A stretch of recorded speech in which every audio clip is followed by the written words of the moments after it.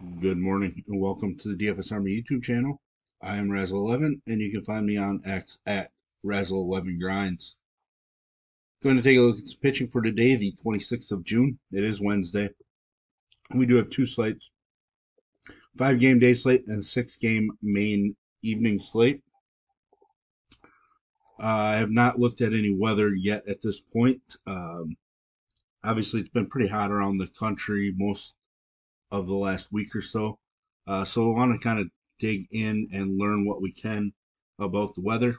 But with that, we're going to focus on the pitching. A reminder this is a first look at the pitching options on the slate. Uh, trying to put together a, a first look pool on FanDuel. If you are a FanDuel player, I would cut my pool in a half or a third uh, just because you don't have to be as creative. Pricing isn't as tight for stacking purposes. But with that said, let's take a look at this day slate. Um, gross. That's my initial look. Um, nothing really stands out to me. Uh, I would would be interested in Spencer Turnbull returning to Detroit. Problem is, is we might only see him throw 70 pitches or less. Uh, he started out the season really strong as a starter. Uh, I'm really shocked that Philly just handed over his rotation spot to Taijuan Walker as soon as he was healthy. Uh, with that said, Turnbull stepping into the rotation for Taijuan Walker. I like it. I like the fact he's taking on his former team. I just wish that we were going to get the possibility of seven innings out of him. Um, just because he's not a massive strikeout guy, so we do need those longer outings. With that said, with this slate the way it is, Turnbull certainly is in play for me at this point. Uh, not that I love it, but we can only choose from what we got. Nate Eovaldi, uh, K numbers haven't really been super strong this year, but I think he's probably the best option GPP wise. Uh, I mean, Milwaukee can be pesky. They're going to score a couple runs for sure. Um, but on the slate, I don't think we're looking for perfect. I mean, in general, we shouldn't be looking perfection, anyways. Sorry about that. I tried to pause the recording as I sneezed. I'm not sure if the recording caught any of that, but um, talking about Eovaldi, obviously Milwaukee, steady. We're not looking perfect for perfection perfection today, but again, we should never really be looking for perfection from players in a sport like baseball. Um, I just think Eovaldi's got enough upside for us that he probably should be one of a top two plays.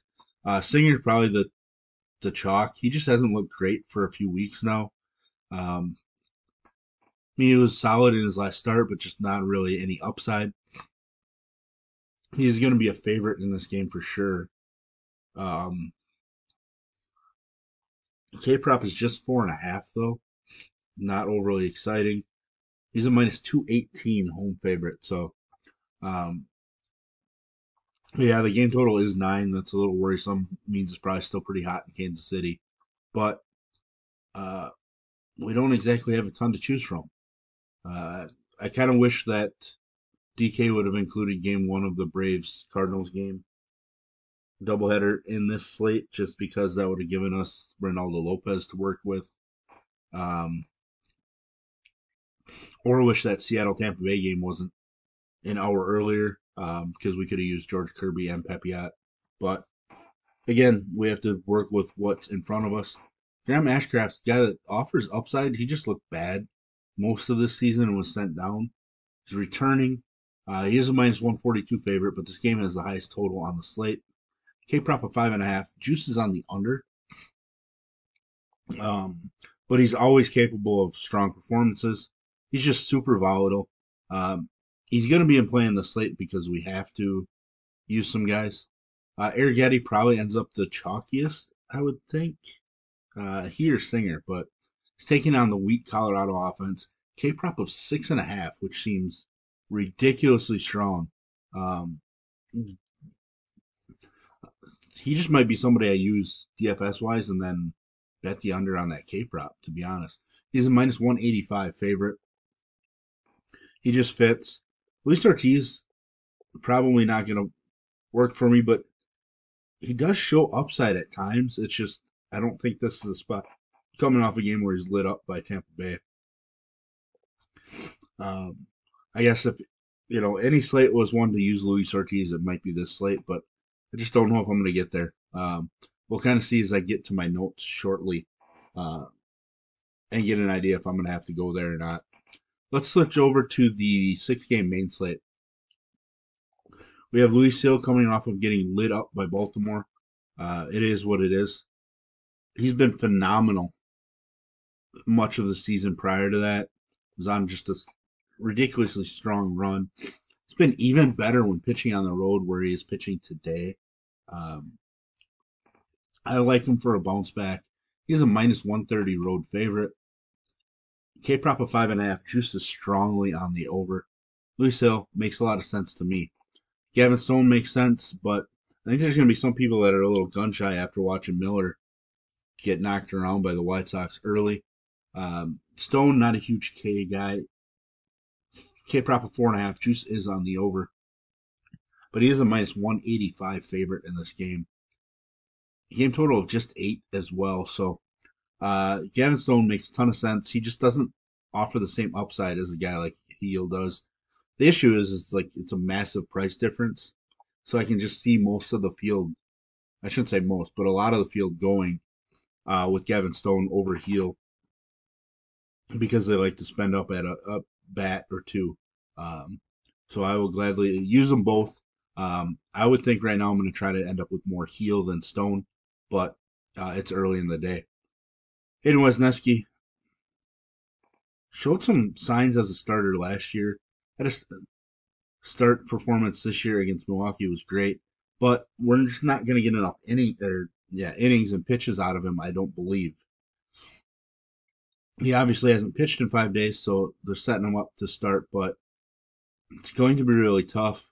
Um, I obviously like pitching in this ballpark, but I just don't think we can get there just because I don't think he's going to go deep enough for us. Kutter Crawford's a guy that I like using, just not going to use him right now. Um, he hasn't looked sharp. He's been allowing too many home runs. Strikeouts have been there. Uh, so if I do end up using him, I'm not going to completely eliminate him. Uh, obviously, it's early in the day. He's kind of on the borderline or outside looking in right now. But the one big thing is if he can cut back his home run issues of late, that takes away so many of these runs. Now his strikeouts play up even more. Um, and we're talking about maybe a, a 30, 30 fantasy point performance. Uh, the issue is Toronto doesn't strike out a ton overall. This K prop's five and a half with juice on the under. But he is a minus 155 favorite. The issue is the game total sitting at nine and a half uh, with juice on the over.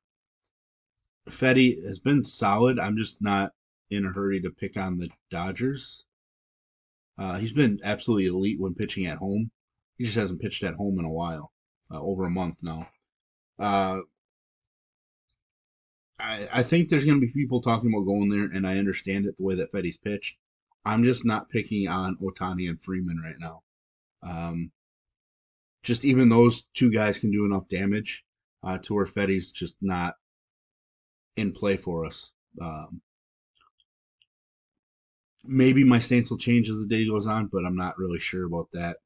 Uh, Woods Richardson has certainly been a surprise, pitching extremely well. Just doesn't offer a ton of K upside in general. A game total of nine in that one as well. Uh, it's a little worrisome. Four and a half is his K prop. Juice on the under. But I'm not really seeing anybody else that I kind of want to go with. Um,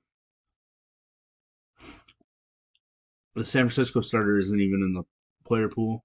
Uh, DraftKings has randomly inserted guys back in at different times. I just don't think they're going to.